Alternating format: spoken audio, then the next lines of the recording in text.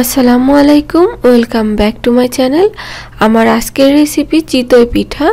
আজকে আমি গ্যাসের চুলায় শুকনো চালের গুঁড়া দিয়ে আজকের এই চিতই পিঠাটা তৈরি করে দেখাবো। যারা চিতই পিঠা তৈরি করতে পারেন না, তারা আজকে আমার এই রেসিপিটা প্রথম থেকে শেষ পর্যন্ত দেখলেই ইনশাআল্লাহ আপনারা আমার মতো চিতই পিঠা তৈরি করতে পারবেন। তো চলুন, এই পিঠাটা কীভাবে তৈরি করতে হয় দেখে নিই। প্রথমে একটা বোলের মধ্যে নিয়ে নিচ্ছি দুই কাপ পরিমাণ শুকনো চালের গুঁড়া।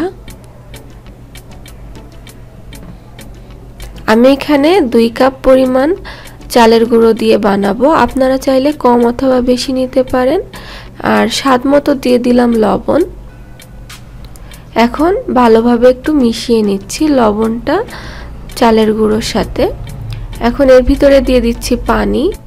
আমি এখানে গরম পানি দিয়েছি, আর গরম পানিটা এমনভাবে গরম করতে হবে যে একেবারে কুসুম গরম পানিও না, আবার ফুটন্ত গরম পানিও না এটার ভিতরে আঙ্গুল চুবালে যেন সহ্য ক্ষমতার বাইরে থাকে, এরকম একটা গরম পানি তৈরি করতে হবে যেহেতু আমরা শুকনো চালের গুঁড়া দিয়ে এই পিঠাটা তৈরি করব।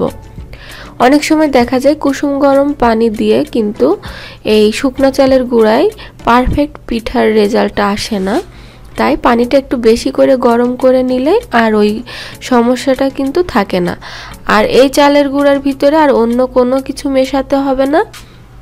জাস্ট একটু একটু করে পানি দিয়ে ব্যাটারটা তৈরি করতে হবে। আর ব্যাটারটা খুব বেশি ঘন, আবার খুব বেশি পাতলা হবে না। তো দেখতেই পাচ্ছেন, আমি ব্যাটারটা তৈরি করে নিচ্ছি।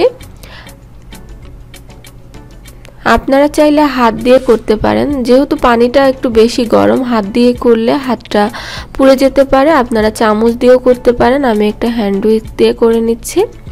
তো এ পর্যায়ে যখন ব্যাটারটা একটু ঠান্ডা হয়ে এসেছে, তখন আমি হাত দিয়ে করে নিচ্ছি। এ পর্যায়ে কিন্তু আমার হাতটার পুড়ে যাচ্ছে না। এভাবে হাত দিয়ে করলে ব্যাটারটা অনেক বেশি ভালো হয়। তো দেখতে পাচ্ছেন ব্যাটারটা কীরকম হয়েছে। এখন আমি এই ব্যাটারটাকে রেস্টে রেখে দিব বিশ মিনিটের জন্য। আর এই ব্যাটারটা তৈরি করতে আমার পানি লেগেছে এখানে চার কাপের মতো। তবে আপনাদের কিন্তু কম বেশি লাগতেই পারে। তো বিশ মিনিট পরে ফিরে এসে আমি আবারও ব্যাটারটাকে অনেক ভালোভাবে কিছুক্ষণের জন্য এভাবে হাত দিয়ে গুলিয়ে নিলাম। চাইলে আপনারা চামচ দিয়ে গুলিয়ে নিতে পারেন। এখন আমি চুলায় একটা কড়াই বসিয়ে কড়াইটাকে খুব ভালোভাবে হিট করে নিয়েছি। কড়াইটা কিন্তু অনেক ভালোভাবে গরম করে নিতে হবে। আর চুলার আঁচটা আমি মিডিয়াম হাইতে রেখেছি। আর এর ভিতরে আমি ব্যাটার দিয়ে দিলাম আর ঢাকনা দিয়ে ঢেকে দিয়েছি। প্রতিবার ব্যাটার দেওয়ার আগে কিন্তু ভালোভাবে ব্যাটারটা গুলিয়ে নিতে হবে। তো প্রথম পিঠা হিসেবে দেখুন, পিঠাটা কিন্তু ভালোই হয়েছে। এরকম ছিদ্রযুক্ত পিঠা হলেই কিন্তু খেতে বেশি ভালো লাগে। তো আপনারা চাইলে একটা পিঠা উঠিয়ে নেওয়ার পরে সামান্য একটু পানি এখানে দিয়ে কাপড়ের সাহায্যে মুছে নিতে পারেন, পানি, তেল একসাথে মিশিয়ে। আমি আর সেটা করলাম না। আমি এর উপরে আবারও ব্যাটার দিয়ে দিলাম। তো আবারও তুলে নিচ্ছি। দেখতেই পাচ্ছেন পিঠাগুলো মাসাল্লাহ অনেক সুন্দর হচ্ছে।